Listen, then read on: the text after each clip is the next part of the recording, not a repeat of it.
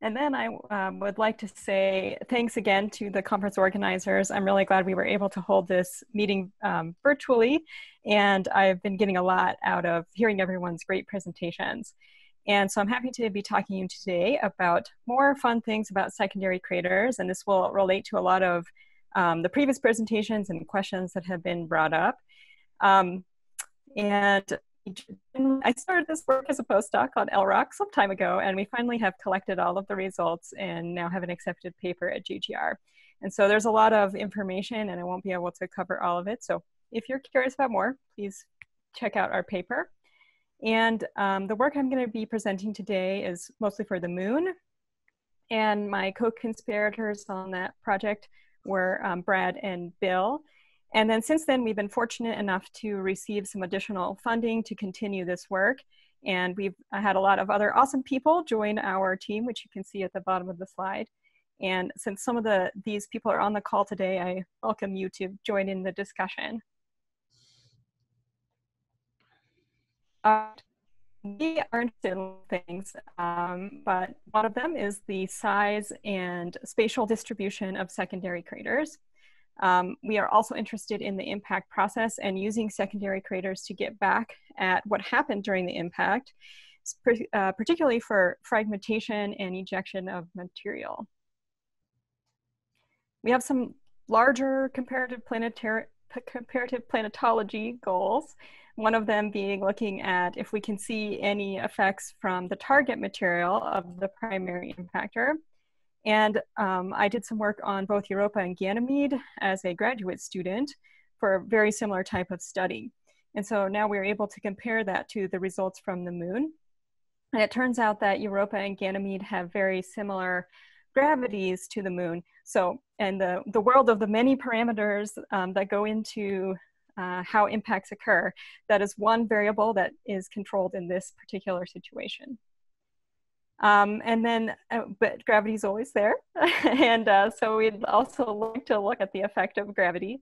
And so our continued work is going to be comparing um, the types of results you'll see today for to similar results on Mercury. There are two main one is the secondary craters themselves, and the other is um, deriving information about the ejecta fragments that form those secondaries. And I'll just let these um, pop up here. We touch on a lot of different applications in the, the couple of papers we have on this topic. Um, and I won't be able to discuss everything here, but I'll hit the highlights and happy to discuss more today or, or in the future with anyone who's interested. So for this first part on secondary craters, I'll give you a little overview of the what we mapped and how we mapped it. For this study, we looked at six, diff the six different primaries and the secondary fields around them. And we were really interested in getting a range of primary sizes. So we looked at Orientale, which you can see here in the upper left. We have some more mid-sized, for, for our study, um, craters, and then some smaller craters here, um, which we were fortunately able to do due to the very high resolution LROC NACS. And um, just like Cassie was showing, I'll, I'll, have some lovely pictures from those of secondary craters. Um, and so our smallest crater was about 800 meters in size. That's the size of the primary. Um, and we weren't sure how small of secondaries we would find, but at least down to this smallest size that we've studied so far, we, we still find some. Uh, so many of you are familiar with the moon and with secondary craters, but this is just a little animation um, my intern this summer, Michaela Huffman, put together, zooming around the QuickMap. Um, and really high resolution images, but this gives you a, a view of the kind of details you can see. Um, and because these are so high resolution, we were able to see even thinner deposits and small features like um, the V-shaped ejecta that you'll see occurring around some of these secondaries. And as a reminder, some of the, the very largest secondaries, those are the ones that would be close to the primary um, typically. Those are usually about 5% of the diameter of the primary. So that gives you an idea of the, the scale we're looking at. There's a variety of fun morphologies that we look for for these secondary craters. As I mentioned, there's often this V-shaped ejecta, although that is a thinner deposit that can be um, erased over time. Um, we are mostly looking at fresh, or we should say relatively well preserved in the case of Orientale, um, secondary fields. And there's also a common occurrence of a splatty downrange rim. So this is the side that's farther away from the primary. And it gives them kind of a, a little bit of an asymmetrical shape. And as many of you are familiar, they often occur in chains, clusters, and can be found in bright rays. So this is a good time to mention that we are um, not by any means trying to map every secondary crater. Uh, partly because that's simply not possible, and um, partly because of the objectives of our study. Um, we are focusing on mapping both the largest, but also as many smaller secondaries as we can. Um, but we think we can get a, a, little bit more complete sample of the largest ones at any given distance from a primary crater. And also we're interested in um, secondaries that could have plausibly have been formed by the impact of a not, not necessarily completely intact, but a mostly intact fragment or a very tight cluster of fragments that were ejected from the primary. And that's because we're interested in studying the ejecta fragments themselves. So in a lot of ways, this is very different than a lot of studies that map primary craters. And so we, we take a lot of steps to try to mitigate. Um, I'm sure a few primary craters have snuck into our data set, uh, but we really try to limit how many there are with our mapping methods. Um, and just here's some lovely pictures again of different secondary craters. There's a pretty broad range in scale here um, from these guys in the upper left, which I'm pretty sure are from Kepler. And then we have some, uh, this is from Tycho actually here in the middle. And some of the smaller secondaries around some of the smaller primaries that you see here. And then some from Orientale here on the lower right. Um, and each secondary field is unique. They all have their own interesting characteristics, quirks, um, and that's actually led us to have an interest in studying secondary morphologies themselves. And also the ejecta of secondary craters can be pretty interesting as well as, as you see.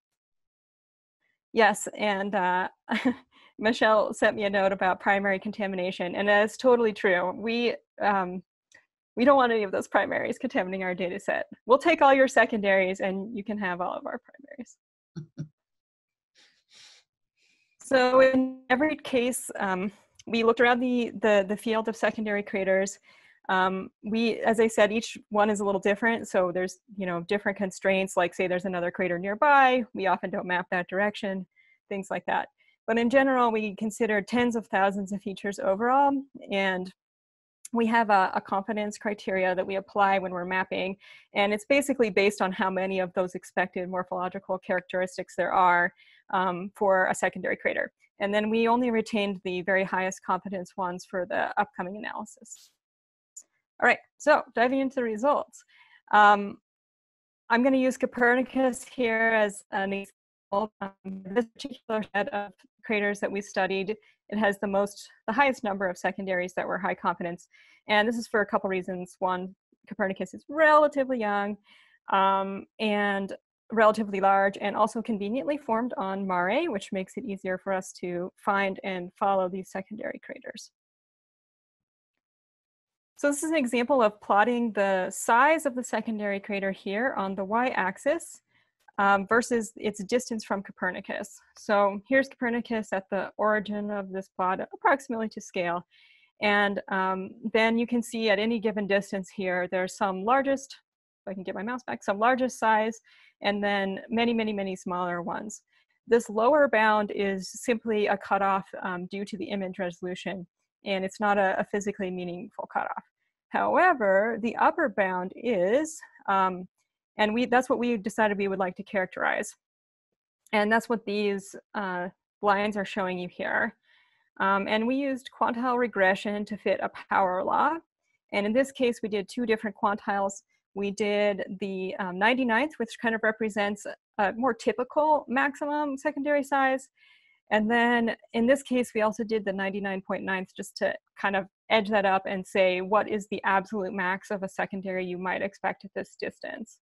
Um, and I didn't put the confidence intervals on, on here, but we do have that in our, our paper as well.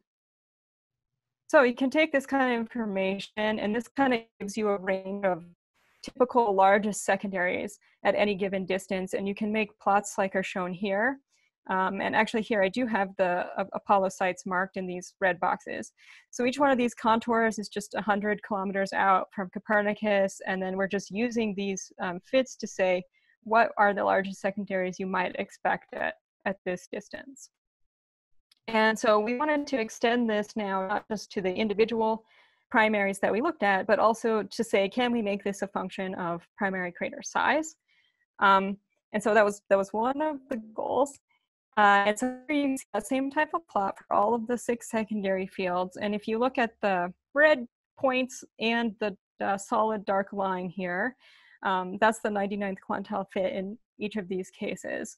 Um, there's a couple things you can see. And uh, one of them is that this, this uh, distribution and the slope of the upper envelope um, changes as you go from larger craters over here all the way down to Kepler and then to even our smallest crater in the lower right here. And this slope gets a lot flatter. So by the time you get to these small craters, um, the size of the largest secondary is almost not changing as you move out. Um, and we've scaled these by various physically meaning parameters. Well, in the case of the secondaries, we scaled by the, the size of the primary. Um, and we've done a lot of tests, and it looks like this is a, a real scale dependence that we're finding. So then we also took this, this is just another way of doing that. Here is the exponent um, on these fits, and it's just plotted as a function of crater primary crater diameter. And so you can see this, this trend again. And so there's, you know, it's not necessarily a tightly clustered line. There's some big error bars, but there's definitely a general trend for having um, higher, steeper distributions for larger craters. And so we, again, what we've done is try to make this, I heard your alarm, um, a function of two different things, both the distance from the primary crater and this, the function of the size of the primary crater. And so then you get a plot like this. Here we have the primary crater on the x-axis and the distance from it on the y-axis. And then each of these contours represent the size of a secondary crater that would be expected. These two little black dots just show you that um, it's not a unique solution. You could have, for example, a one kilometer secondary farther from a larger primary or closer to a smaller primary. Um, but it's just another useful piece of information if you want to try and think about what are the largest secondaries in your study area from um, a given set of primary craters, or if you're trying to determine the origin of, say, a cluster of secondary craters. And as, as I showed before, there's, there's definitely work to refine this. Um, and that's part of what we're doing in our second, third, whatever phase of the project we're in. Okay, so in my final couple of minutes, I'm going to talk about the ejecta fragments. And we have a ton of results about the ejecta fragments in, in the paper, but I'll just do it briefly here. Um, we have two things that we measured, as I mentioned and then we derive two things about the fragments that created each secondary. And the velocity of the fragment is pretty simply from the distance of that secondary from the primary using the ballistic range equation on a sphere. And then we use both that velocity and the size of the secondary crater to estimate the size of the fragment. And scaling equations have been mentioned several times. Um, and we have tons of things that we talk about in the paper. We do a lot of parameter uh, tests and also discuss um, the feasibility of using these at small velocities. And we also do some kind of just um, checks, like looking at the uh, size of the boulders, the largest size of the boulders on the ejecta blanket, things like that. Um, and it seems like they still are working pretty well at these sizes. And there's some other experiments that indicate that these are still useful at these velocities and sizes. Okay, so quickly, this is a similar plot, but now with the ejecta fragment size and the ejecta fragment velocity. This our red curve is now the 99th quantile. And for reference, we've plotted the mean predicted spall diameter that comes out of spallation theory. Um, so again, we characterize all of these with the, the data itself with the power law. Um, and spallation theory also has is a power law, comes out as a power law. And this exponent for spallation theory is minus one. Um, close to minus one for most cases. And it doesn't have a dependence on the, the scale, basically. And so this is the same type of plot you saw before. now again, they're the ejecta fragments, and we see this same uh, scale dependence change in the size of fragments as we saw for the secondaries because this data comes from the secondaries. So I will end here with my conclusions and basically, um, okay, secondaries, maybe they're not everywhere, um, but there are a lot of places.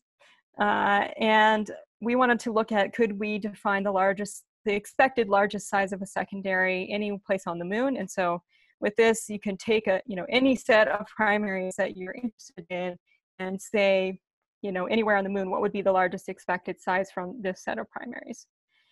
And um, then we found this scale dependence that seems to be occurring during dynamic fragmentation. And we hope that these results can feed back into, um, I should say, both analytical and numerical modeling of fragmentation and help us better understand the impact process. Thank you. Thank you, Kelsi. Very, quite fascinating. Are there any questions? Let's see. Yeah, it looks like there are two, at least for the moment. Um, first from Veronica Bray. I'd be interested to see if you don't see those typical secondaries within Cassie's melt regions. Perhaps later flow of the ejected melt deposits has covered secondaries in these limited regions. Yeah, good question. And I was I was kind of looking at the pictures, and and Bill kind of brought this up too. Um, those particular ones that Bill asked about, I thought um, didn't look as as clear as most of the secondaries around Tycho do look, um, and uh, I think we'd have to go back and check. Is the answer, um, but that would be a fun thing to to check about to see if we can see anything about the timing. I'm gonna write it down before I forget. Okay. I'll give you five seconds to write that before no, I go. No, it's okay. Go ahead. Go ahead. All right. Uh, David Minton asked, for the big secondaries, like from Orientale, do you see tertiaries? Oh, I'm so glad you asked about tertiaries. Um, I actually have a, a student this summer who was on a hunt for tertiaries, and um, we we haven't concluded our search. But I will tell you what we've concluded so far is that um, there is very you need really young um, deposits, basically ejecta, to to see anything. Um, so Orientale, most of even the V-shaped ejecta, you can still see hints of V-shaped ejecta and stuff like that, but most of it is gone. Um, and interestingly, even Tycho is really not young enough for us either. Um, and that's because, as you know, the, the thinner, smaller things um, go more. Um, since you asked, I will show one fun thing if I can. Um, I might have to reshare. I can't remember if I shared my screen or the whole thing we were not expecting to, here I can share my screen. Um, we were not expecting to find um, tertiary necessarily around smaller um, secondaries, around smaller primaries, just because we thought there wouldn't be enough, you know, oomph. Um, but uh, this was just a, such a cool thing that my intern found this summer. I thought I would show it off real quick. So here's a very small primary. I think it's, it's about, well, we call it 1p8. So it's 1.8 um, kilometers in diameter, and there might be a delay. So hold on a sec here. You can see the, the primary. Um, and then she was secondary around this, this uh, primary, and she found one that have these really interesting dents. Zoom in so it renders faster. Here we go. And we haven't necessarily convinced ourselves that these are tertiary features yet, but um, we're investigating them. So um, you can some fun uh, secondaries here with their V-shaped ejecta. And there's this relatively large one that has these boulders um, downrange. And there's not a lot that have uh, boulder fields. Um, but then there's also these kind of elongated dents um, that have these large boulders behind them. And they look very similar to, you know, like boulder trails, like on a, ejecta blankets. Um, and they are uh, pretty much radial to this, this secondary crater. So that's actually the, the most likely thing we've found so far, um, but we're gonna keep looking and see what we find. Very neat. Um, I've never seen that before. Uh, well, we were very surprised. We yeah. were not looking for them here, and she just she has a keen eye. What can I say? Yeah, well, and that's at the edge of NAC resolution. Um, there is a question from one of your co-authors, Bill McKinnon. He wants to know if melt blobs make their own quote unquote type of secondaries? Hmm, that's also a very good question.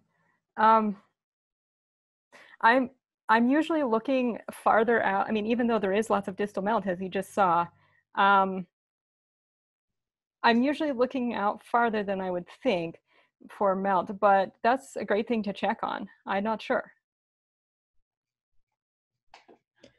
Okay, several notes of good points and awesome, but uh, no further questions at the moment in the chat. Oh, I. Oh, wait. uh, No, there's one. okay, go ahead. Yep. Um, I'm going to butcher the name, so I'll just try the first name. Um, Denise asks Do secondary craters cause us to make fatal mistakes when calculating age? Because, as you said, they are everywhere. Um, so lots of people have worked on how to mitigate these effects, and I won't have time to go into them all now because I know we need to go on. Um, but uh, there's lots of literature on this, so I'm sure we can bring this up in the discussion. Yeah, and I think we talked about it a little bit yesterday too. Um, I guess in short, there are ways to mitigate the effects. And as long as you're doing old big stuff, you're probably good. But good discussion question. Um, and Kush asks, will the results of your great work, um, secondary crater catalog, be available for other scientists? Uh, well, thank you for the compliment. Um, and of, uh, what we've done is more give an equation where you can um, pick the primaries that you're interested in and say maybe what's the maximum size, you know, plus or minus a decent error bar um, at a given distance from that. So it's a little different than a, a catalog um, like other, what others on this call have created. It is available, I should say, in our, our JGR paper. Okay, so check out Kelsi's JGR paper for that. Uh, says thank you. And again, the moment there is no further question, although uh, Bill McKinnon notes that his question I asked you uh, was more general one for the group. So something uh, perhaps for the discussion at the end of the day after Michelle's talk would be, again, could melt blobs make their own type of secondaries?